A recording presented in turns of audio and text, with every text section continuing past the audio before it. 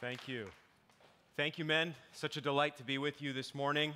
Back at it with Kindred, uh, a church I truly love, my family loves. My family is not with me on this trip as in past trips, but uh, truly a joy to be back and to be with you and think together about consequential things. Thank you so much to Pastor Philip and the pastoral team here, Men of Iron All, and I pray that this is a blessing to you, this conference and this session.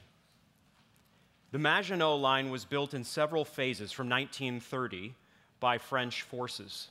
The main construction was completed by 1939 at a cost of around 3 billion French francs. The Maginot Line was composed of an intricate system of strong points, fortifications, military facilities, border guard posts, communication centers, infantry shelters, barricades, artillery, machine gun, and anti tank emplacements, and on it goes. The most impressive part of the Maginot Line of the French in the pre World War II era were the fortresses.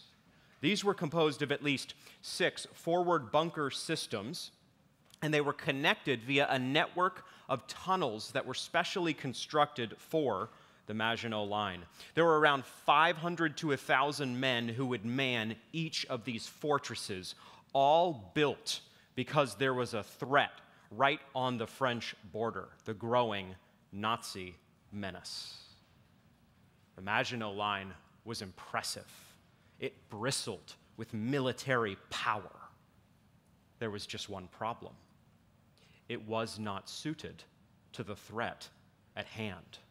It was fitted for a different challenge, an age of warfare when armies would stand opposite one another and battle it out until one side capitulated.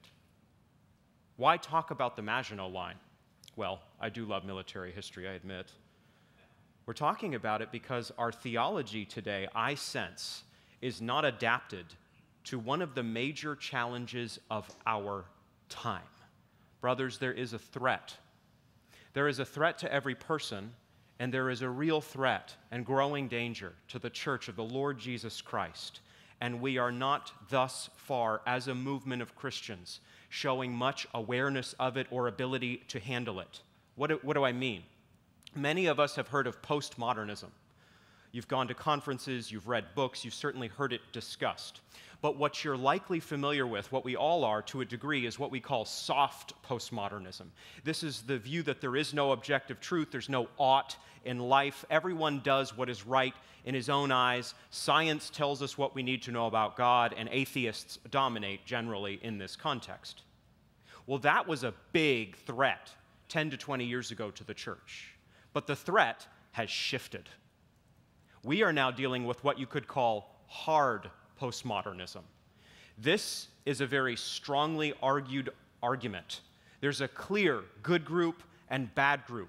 And science actually now is increasingly seen, like all use of reason, the ability to think, as racist. America is increasingly divided because of hard postmodernism into categories of racist and anti racist. Many of us, therefore, are equipped for the older threat, the older form of warfare, where the primary challenge our young people, for example, were going to face in going to college or university was going to be the belief that there is no objective truth. Things have shifted. Now, the prevailing belief out there is that there absolutely is an objective standard of racism and our history as a society does not live up to it, and we ourselves are not living up to it. All this leads then to us identifying the threat on our borders, one of the foremost challenges the church faces today wokeness. Wokeness. In what follows, I want to define wokeness in part one. You have your handout there to guide us in this blistering little tour this morning. And then I intend to critique it. And I am doing so because we, as men of God, men of Christ, want to understand the times. And again, this is a major challenge in our time that few are identifying and even fewer are speaking to. As we move into this session, let's do so with Paul's words in 2 Corinthians 10 3 to 6 ringing in our ears. For though we walk in the flesh, we are not waging war according to the flesh. For the weapons of our warfare are not of the flesh, but have divine power to destroy strongholds. We destroy arguments and every lofty opinion raised against the knowledge of God and take every thought captive to obey Christ, being ready to punish every disobedience when your obedience is complete. Recall what we are doing then as we move ahead. This will be more of a kind of teaching section than an exposition of Scripture. Tomorrow, tomorrow I'll be preaching from Ephesians 1 3 to 14. That will be a scriptural exposition. This is more going to be teaching about a system and critiquing it. But in, in doing so, we are trying to take every thought captive, every thought we have about image bearing, race, ethnicity, and so on. What we are doing, therefore, is cultural deconstruction. We are analyzing an unbiblical system as we must do, per Paul's words just now. Destroy arguments. You may never have heard this talked about much in the Christian church. This isn't always playing on your local radio station or something like this, but this is directly biblical work, what we're about to do, in order that we may do gospel reconstruction and rebuild a Christian worldview in all its beauty and glory and health. Part one what wokeness is. Let's move into this.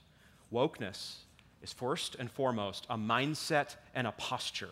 The term itself means that one is awake to the true nature of the world where so many are asleep. In the most specific terms, this means that you see the comprehensive inequity of our social order and the corresponding need for racial and social justice.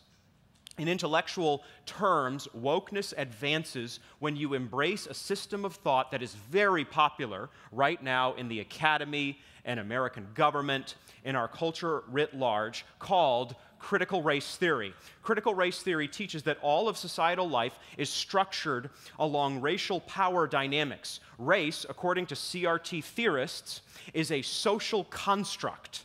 That means that it's not biologically based, it's not based in reality, it exists in our imagination, and yet it is America's original lie that has led to America's original sin racism. Racism occurs when one racial group oppresses, dehumanizes, and demeans others.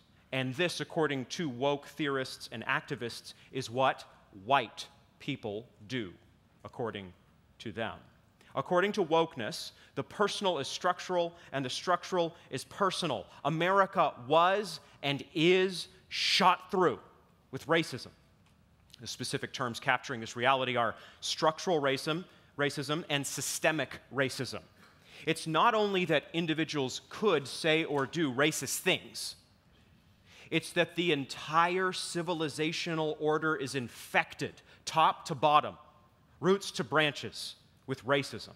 And this flows directly from our country's origins. Originally, America was set up, was rigged to be a power game that only white people would win. Slavery and Jim Crow perpetuated such inequity. Then and now, white people think of themselves as superior to black people, according to critical race theory, and people of other races or skin colors. While whiteness is a mentality, it is predominantly believed and practiced by white, in air quotes, people.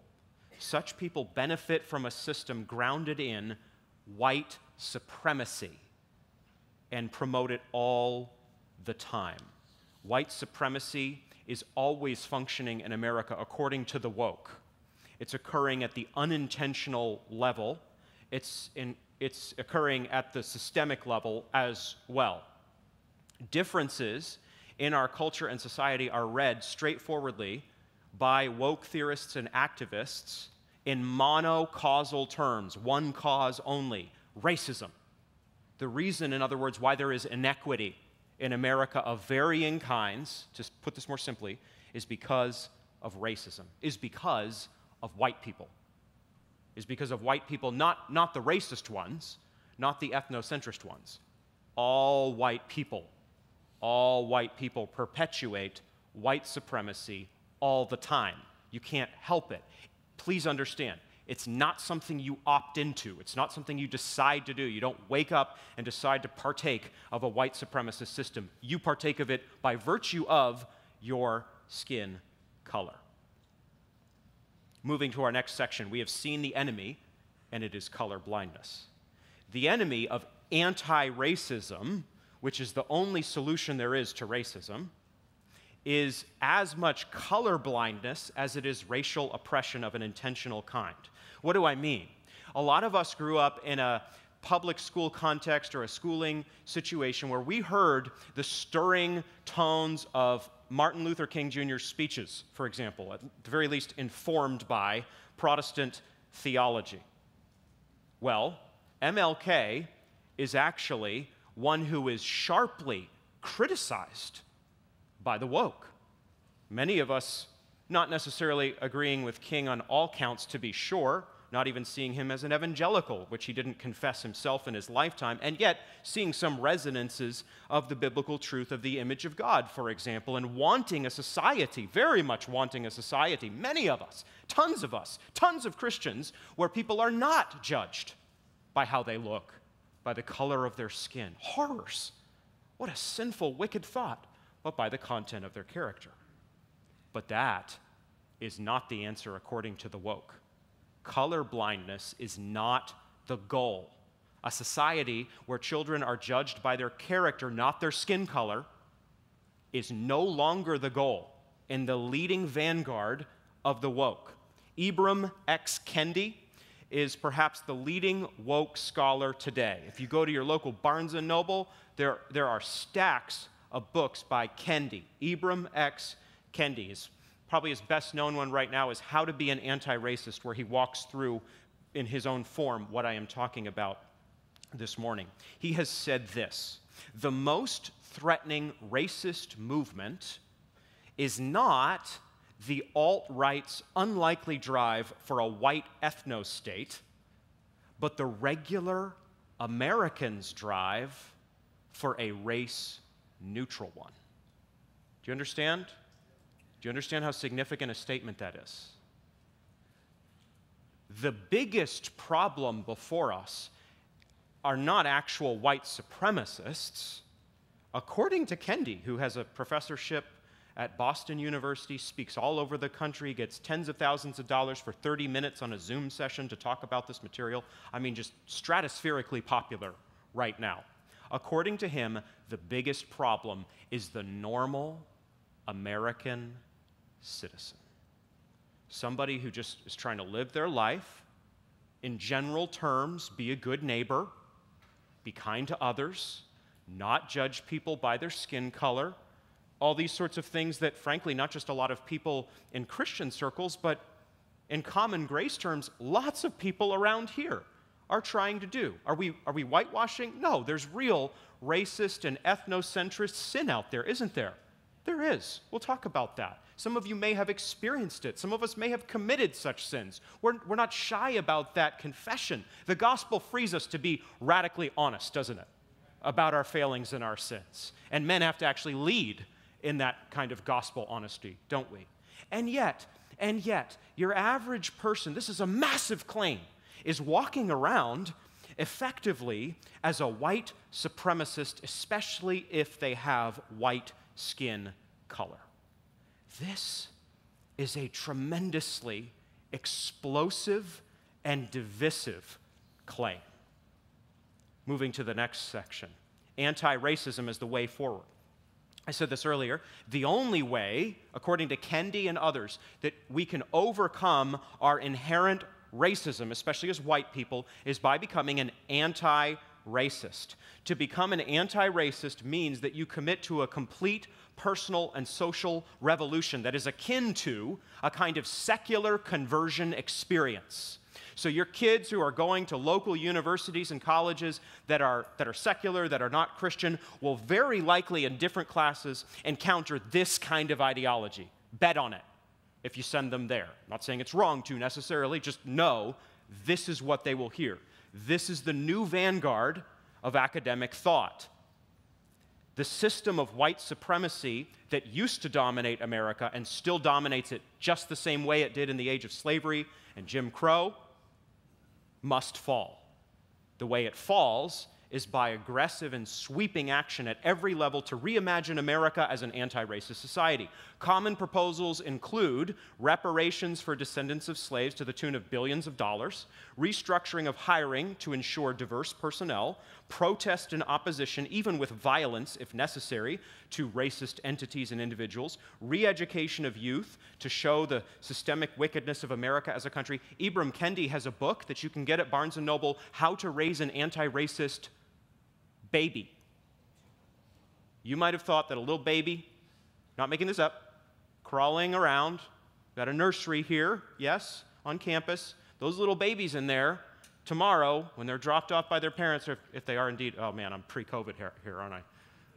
Okay, well, the babies, wherever they may be, okay, dropped off or not, mom's arms or in the nursery, are racist from birth and need to be trained. Babies, are you tracking here? Need to be trained in how to be an anti racist. Babies. Babies.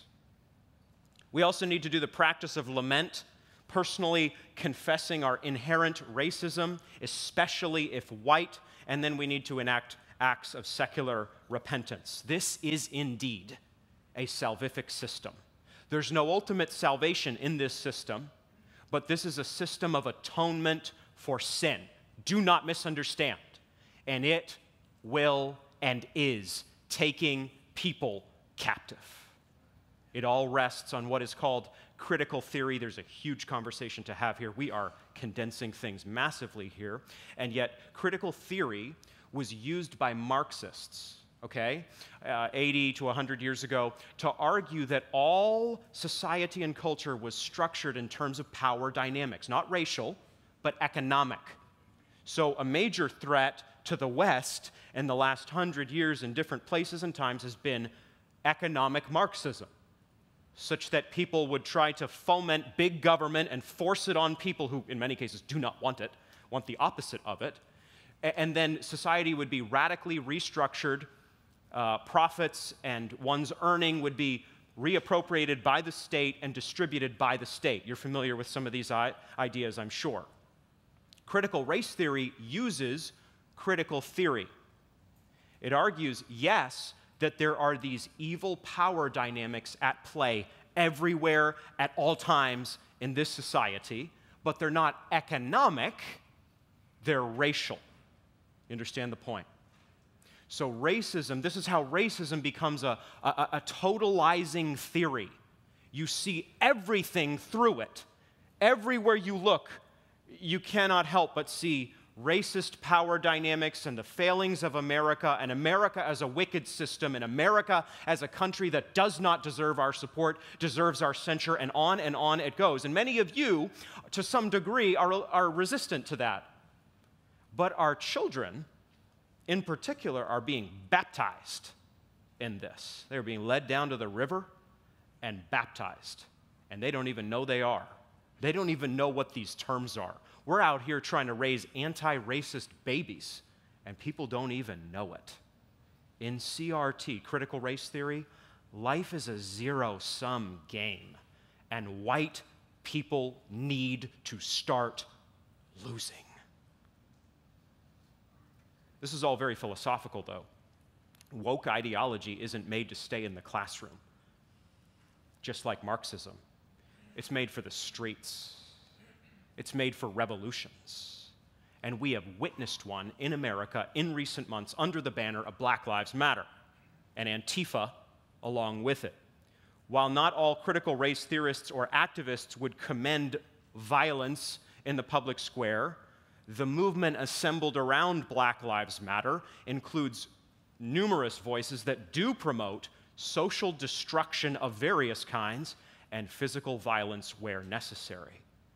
The official BLM platform, as I'll go on to talk about in just a few minutes, opposes the nuclear family, endorses LGBT identity in extreme terms, and uh, paints the police and authorities as innately, inherently corrupt. I believe we'll be hearing about that in just a little bit. Praise God. Under the banner of protest of police brutality, a complex subject deserving careful analysis and cool minded handling activists in numerous cities, one after another. You saw the news just as I did. You saw the social media. Fire up your social media in the morning at work or whatever it may be, at home, doing your job from at home, and you're seeing what? Videos of activists torching property, attacking counter protesters, and murdering different individuals in the name of justice, all under the banner of justice in St. Louis, just four hours from where I live, teach at Midwestern, Kansas City. St. Louis, an African American police chief, David Dorn, tried to hold back the mob in St. Louis, which was running amok, and was shot and killed.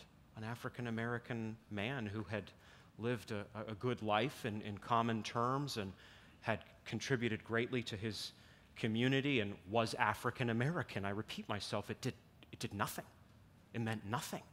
You see, he was standing against justice. What a twisting of a word that is, that you would murder a man in cold blood and call it justice. God's own word, God's own character. One of the attributes of God is that he is perfectly just and he will have his justice. It looks like justice is delayed now.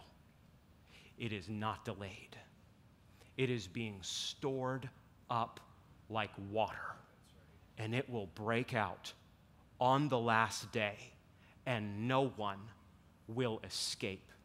And that reality is meant to unsettle and even terrify every last one of us.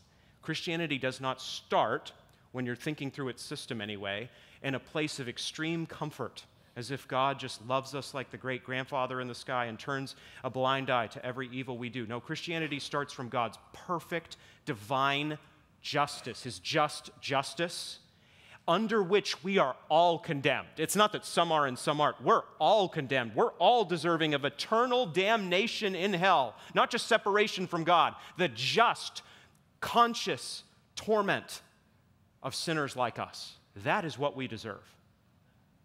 Those are the terms in which justice comes. God is the one who will execute perfect justice. No one is getting away. It may look like they are they are not. Now, not every BLM activist or person who would retweet a, a, BLM hashtag or something like this stands for violence. Nonetheless, we cannot miss where this thinking, where wokeness has gone in the last several months in this country. I just spoke a version of this talk and several more last weekend in Minnetonka, eight miles from Minneapolis. Christianity and Wokeness. It's on YouTube if you want to watch more of this material from me. I did it a week ago. Christianity and Wokeness. One to two billion dollars of damage in Minneapolis. Way more than the LA riots in 1992, according to different voices. One to two billion dollars of damage. There is much that will never reopen in Minneapolis. It's a beautiful city. As John MacArthur has rightly said, after nearly a decade of relentless indoctrination in this system, the result has been an explosion of ethnic animosity and civic unrest. This is a worldview, the woke worldview, that deliberately foments and feeds on resentment, strife, hatred, and division. Last section here before part two intersectionality. What is intersectionality? I hope you're getting your money's worth here this morning. My wife tells me I am fire hosey, technical term. I, I have tr- I, I gave you the handout, man. You, you got to give me a little grace for that at least, okay? I'm trying. What is intersectionality? We've already got a lot on the table, don't we? Let's press in. Let's do this. We have to do this. We have to understand the times. To have one's eyes open to one's racism, as I have said, is the great awakening that CRT seeks. Just like Christ- Christians want a great awakening, it's just a secular form. But when you become woke, you not only become an anti racist, you also become one who sees power dynamics everywhere in society. And you see them wherever there are different positions, uh, wherever there are supposed inequities. Someone has a higher pay scale, uh, someone has more power, someone has more influence. You're not just seeing a, a, different situation because of life calling and talent and background and these sorts of things. You're seeing intersectional injustice. What does this mean? It means that all over the place are underprivileged peoples, peoples who don't have privilege in many different ways. And what we should wake up to see is that there are many people who have intersectional concerns. For example, they are a black, lesbian, feminist woman. In intersectional thinking, those are four different categories in which this person lacks privilege. So, what we should do is we should restructure society to make it equal so that there are no distinctions or differences. Now, that may sound okay on the face of it, but an intersectional worldview, when you actually scratch it a little bit, has very significant thinking indeed. First, men oppress women. Men, by virtue of having more strength, uh, more power, oppress women. And anywhere there is a context, for example, like the church, where men would be called based on creation order God actually historically making the man before the woman and then calling men to leadership in the home and in the church accordingly, where you see a difference in calling and role. You understand the point? You're not seeing something divine that puts God's glory on display, as Gavin will be talking about in just a few minutes. No, no, no, no, no, no, no. You're seeing oppression. You're seeing toxic masculinity predominate. Toxic masculinity is not just when somebody goes off the handle and hurts others as a man. Toxic masculinity can be swapped in for masculinity. Even an event like this, honestly, guys, is basically retrograde in our culture right now. For us to talk about manhood and define this and call men to be strong in Jesus Christ and fight their sin and protect women and love their children is not positive. It's sexism it leads to oppression. Now, we'll note with our doctrine of sin, it can. Christian men aren't perfect. What does James say? We all stumble in many ways. We all know our flaws and failings.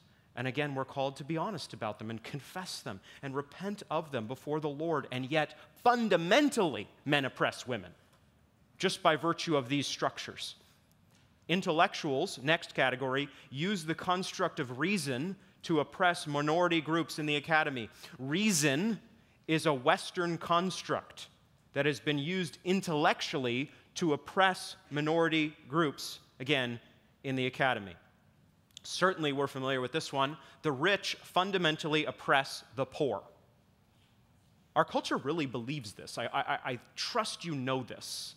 At least the leading edge of it does. That if you have a lot more money than others, right? Salary inequity, if there's a CEO who is making 10 million a year and there is an employee who is making $22,000 a year, circumstances and background and training and sacrifice are not taken into account by this kind of worldview. That is a sign of inequity, and inequity is oppression. So the system of capitalism is an oppressive system that needs to be dismantled. And if you have $29.99, you can buy books that will tell you how to do that. The irony, irony. Think, think, think about driving home, turn off the radio, and just sit there and think about that one for a few minutes. Cops oppress citizens. This is part of what has been behind the massive wave of unrest fundamentally against the blue. The blue being one of the most integrated forces and, and social groups, if you will, in the West. Police being actually, on average, pretty integrated as a force. No, no, no, no, no.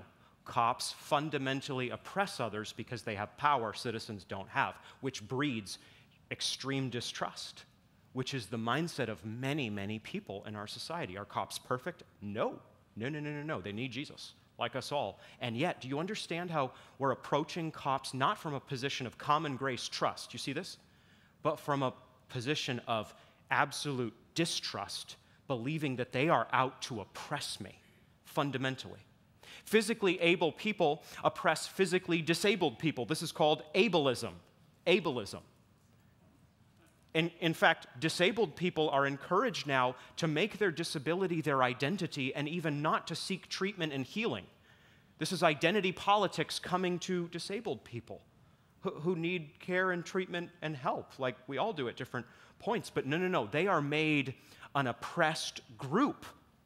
Though you wouldn't know, you wouldn't necessarily think you're oppressing disabled people by being physically able and functioning in a physically able way. No, no that, that's why there are now so many disabled parking spaces when you go to Target. It's a good thing that there would be a whole bunch. Good.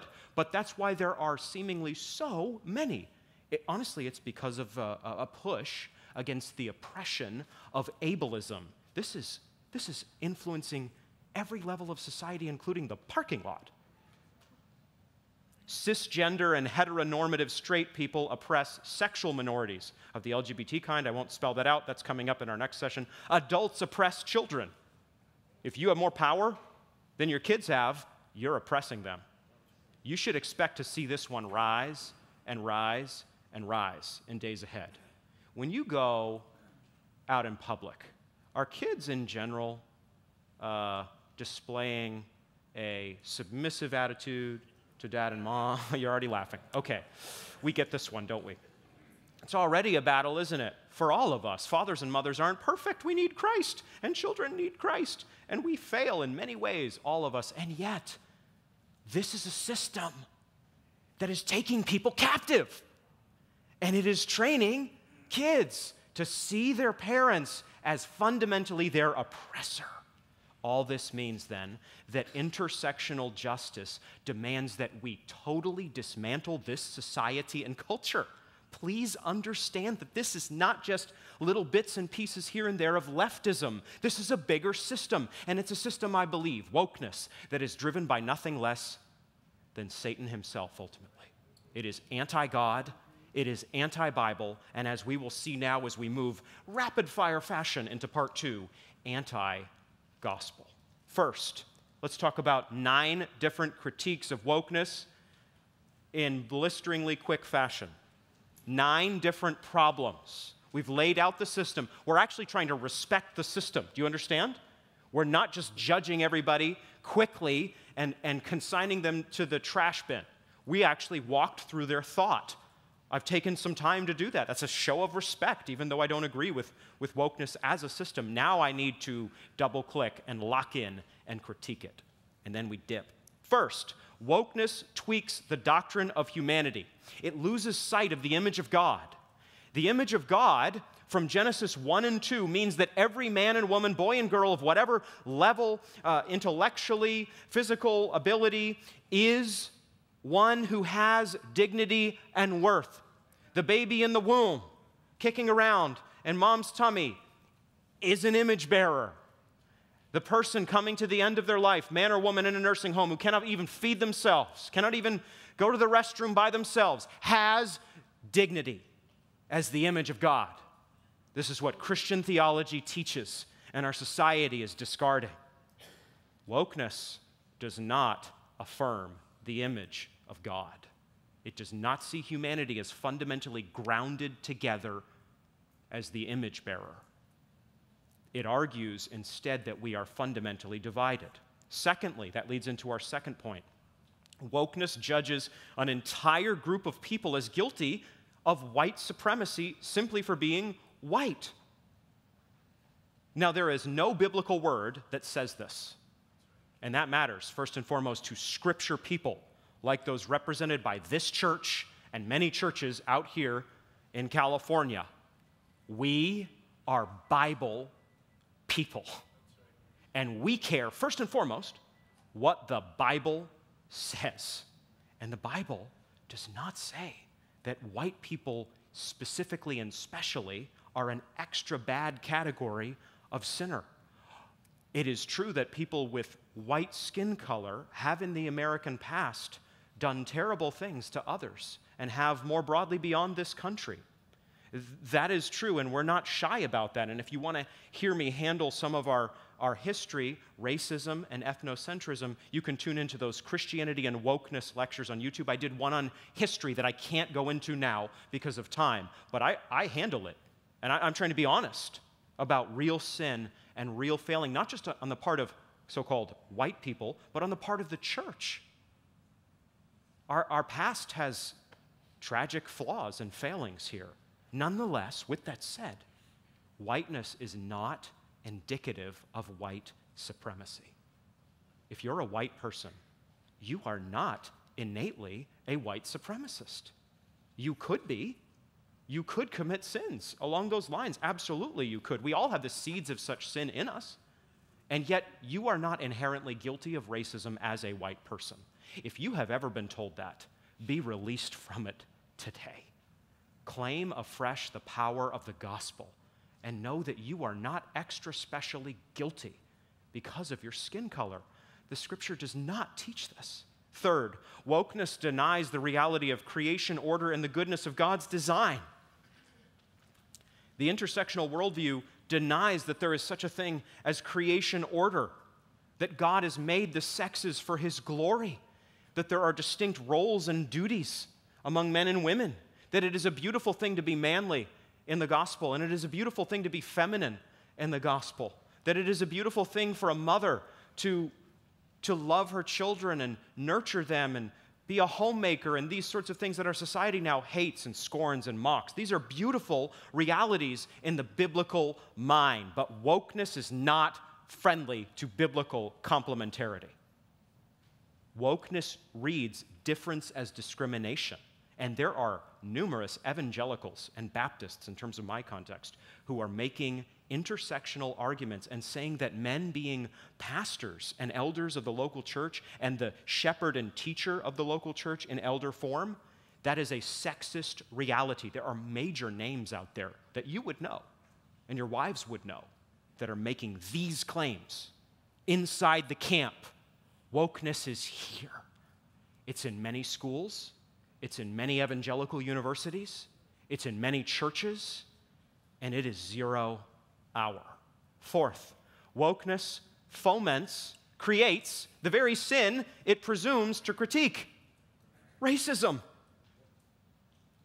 Just as this worldview makes you hate men if you follow it logically, so it honestly makes you at the very least distrust and probably very much dislike and stereotype right off the bat white people. You think you know someone according to this worldview by virtue of their skin color. Is there a worse idea than that? Do you know me? Do you know my background? Do you know that I'm from a, a, mixed ethnicity home? Would you think that looking at me, hearing me talk in this nerdy way, scholarly way? Would you know that?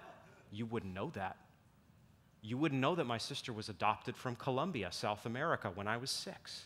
You wouldn't know that I love Rachel very deeply.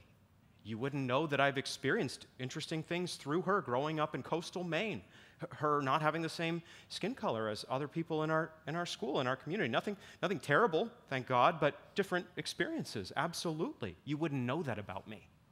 You wouldn't know it when you see somebody who adopts multiple children of a different ethnicity, a different skin color. You wouldn't know that. I, I have numerous friends. I have a fellow professor at Midwestern Seminary who's adopted three children who do not have his skin color.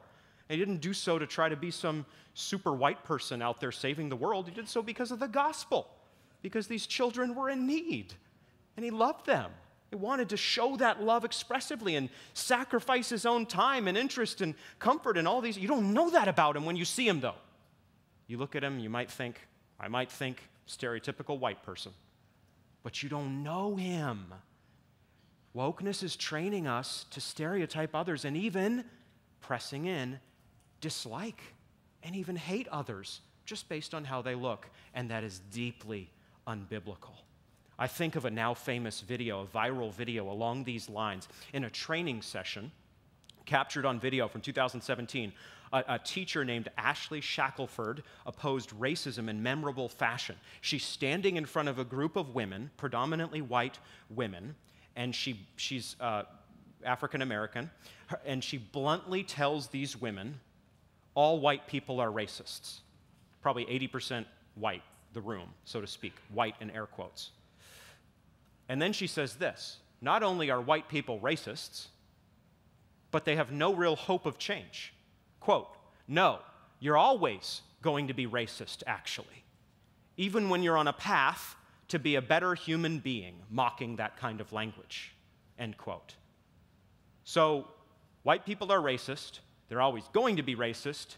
Even when they want to improve and want to grow, they can't, according to this session. You can find it on the internet in about 10 seconds. As if that wasn't a hard enough hit, she doubles down. I believe all white people are born into not being human. Well, that's a strong one right there.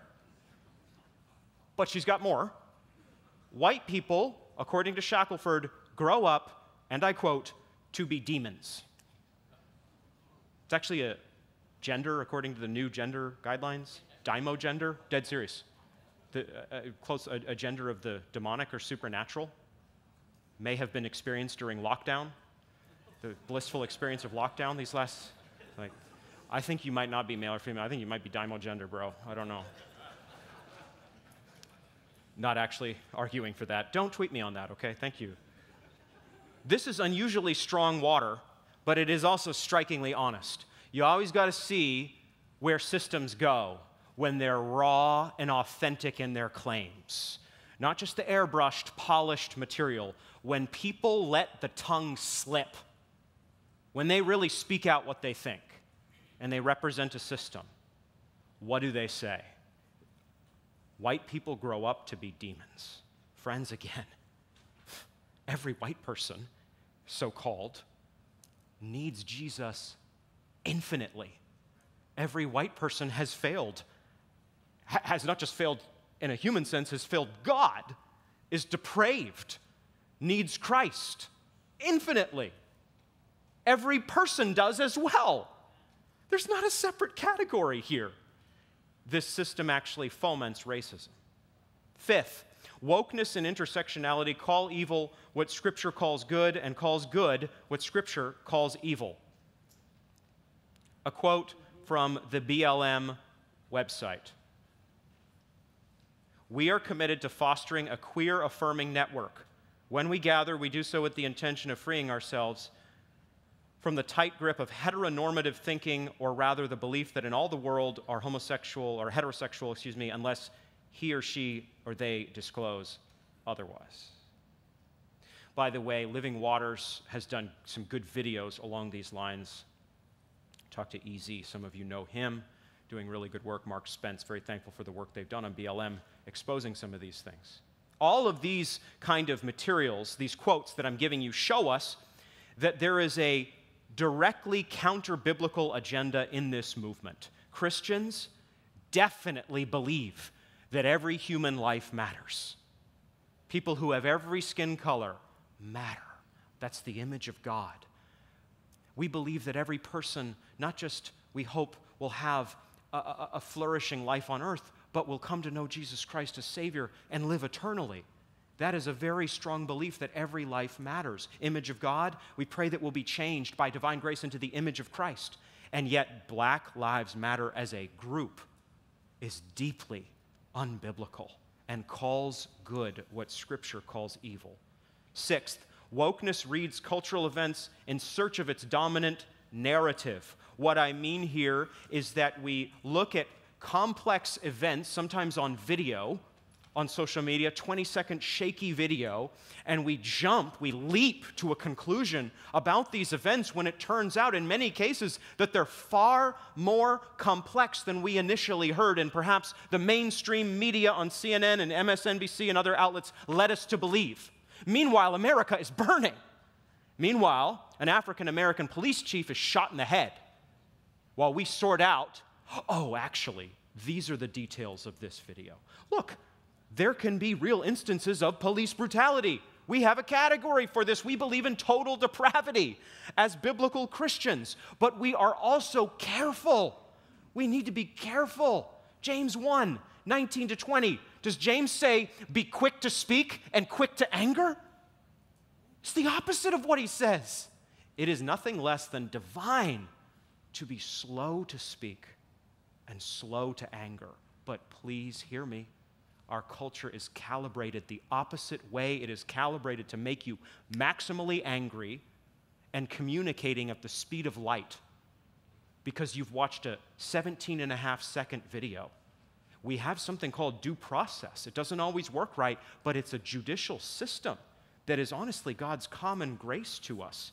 And friends, as the church, we are aware of injustice, we are aware of real problems societally. We are aware of the epidemic of fatherlessness, and we need, we need to plunge in as salt and light, as was prayed here and mentioned here a few minutes ago. And yet, we also need to distinctly be the church by being slow to speak and slow to anger and quick to listen.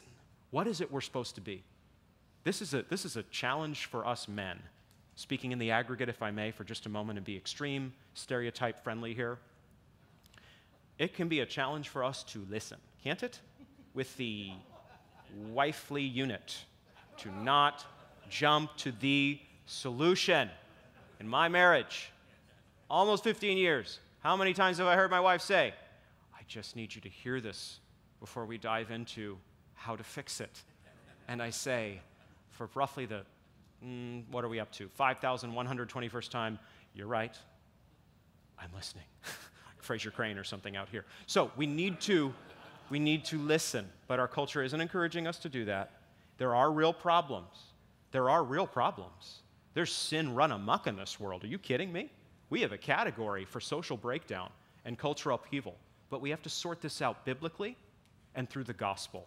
That is not the way Twitter and Instagram are encouraging you to do things. Seventh, I'm going to go rapid fire here, almost done. Wokeness greatly complicates interracial membership the, in the church, marriage, adoption, even friendship. Recently, Ibram Kendi, who I mentioned earlier, uh, commented on Twitter about a picture of Amy Coney Barrett, the new Supreme Court nominee, holding in her arms two African American children. Coney uh, Barrett has adopted two children from Haiti, and her sister has adopted two African American children as well. Uh, they're, they're Catholic. Uh, and Kendi said some white colonizers, speaking in the past, adopted black children. They civilized these savage children in the superior ways of white people while using them as props in their lifelong pictures of denial. What is happening here? What, what was Kendi saying? Kendi is saying when white people adopt black children, they are white colonizers. They're using these kids as props. Here again is one of those moments, friends. Please hear me. When you see a system showing itself, showing its true colors, you don't often get that. You get, you get a polished veneer. This is not a polished veneer. This is what is in the heart. Out of the overflow of the heart, the mouth speaks. A system grounded in hatred will produce hatred when this woman, not an evangelical Christian from what I know, and her husband, in common grace terms, again, are simply trying to adopt a child and love the child. Something my own parents did, something a number of you have done, something I'm sure is prevalent throughout Kindred and throughout other churches represented here, and praise God for it, and is no part of white colonization and using these kids as props. Do adoptive parents need the gospel and need forgiveness and need Jesus? Absolutely, we all do. But that is not a necessary sign of racism. This is upside down thinking. Eighth, wokeness destabilizes truth, making it narratival rather than absolute. The technical term here is standpoint epistemology. Uh, very quickly, standpoint epistemology means that when you're underprivileged, like I was talking about in the intersectional section, when you are underprivileged, you can see truths then when you interpret or read a text that privileged peoples can't see because their privilege is blinding them. What this ends up meaning in like a university context, and I've heard about this in numerous evangelical schools now in 2020 is that you need to assign books, for example, in a theology class, not that are all grouped around common belief in the truth and that expound sound doctrine. You need to first and foremost assign books from diverse writers. That is an outworking of standpoint epistemology. If you fail to do that, you're teaching Western imperialism. This is a deeply troubling and problematic trend. Lastly, finally, and we are done, dunzo. Wokeness promotes, in sum, a new system of associational unrighteousness and performative righteousness. Here it all coheres. We may become righteous in wokeness, not through justifying faith, grounded in the person and work of Jesus Christ, but by performing acts of cultural repentance, by becoming anti racist. This is a works based system. It's not that we shouldn't do righteousness. You got a whole lot of Bible verses along those lines. It is that this system presents humanity with a different problem than the biblical one, and thus leads humanity to a different solution than the biblical one. It is, of course, true that racists and ethnocentrists must repent of their sins. And it is true that the American past includes many who fell prey to these sins. We're not disputing that. We shouldn't dispute that. We shouldn't see history only in terms of one narrative. It's a very complex narrative. A ton of white people, so called, died in the Civil War, for example. A lot of such people uh, uh, promoted the abolitionist cause in the 19th century. There's a lot more complexity to the narrative than is often said, and yet we also acknowledge racism and ethnocentrism must occasion repentance. But wokeness, please do not under- misunderstand, wokeness is not the gospel. Wokeness is a different gospel. It is a gospel of works. It is more a system of penance than of salvation. Wokeness, in the end, is not just a new variation on the gospel. Wokeness is not just a different way to be Christian. Wokeness is not just another gospel. Wokeness is anti gospel. Brothers, as we conclude, flee wokeness. And you, as men who understand the times, in love, lead your family, your friends, church members, peers, neighbors, coworkers. A lot of you are under intense pressure in secular workplaces to embrace these kind of ideas. Lead them out. Don't let you or your loved ones be taken captive. Heavenly Father, thank you for your truth. Thank you for your word. We pray, Lord, for the grace to oppose this system, to destroy arguments, as Paul prayed, as Paul said. Pray that you would give us grace and courage, and that you would make disciples out of those who are buying into this system and think they are becoming righteous. In Jesus' name we pray. Amen.